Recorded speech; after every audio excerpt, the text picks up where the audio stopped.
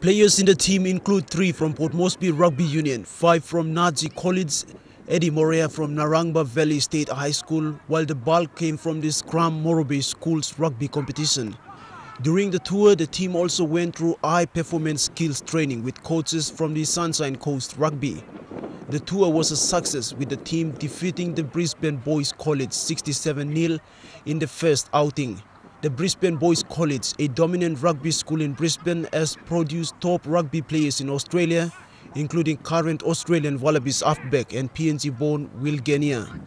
In the second game, the junior Pukpuks took out the Dylan Dowry Cup, defeating the Sunshine Coast Grammar School 19 points to 14.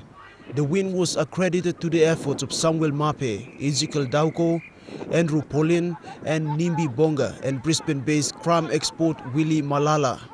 In the final game, the PNG boys played the Sunshine Coast Stingrays under 20 side in a hard-fought battle in which PNG won 45 points to 14.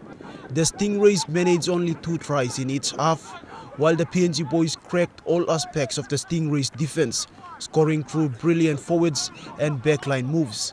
Tries were scored by blockbusting flanker Elliot Namani, Paul Nelson, Willie Malala, Eliud Osea and Lindsay Yobone.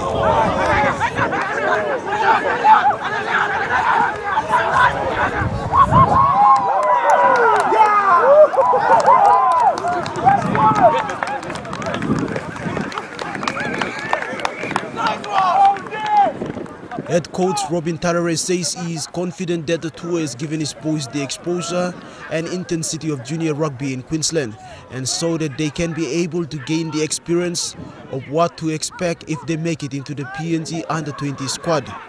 Tarare says he is happy with the results but there is more work to be done before the final under-20 team is assembled for the under-20 Oceania Championship. Several players have been identified during the tour and will soon be drafted into a squad of 40 players for the under-20 team.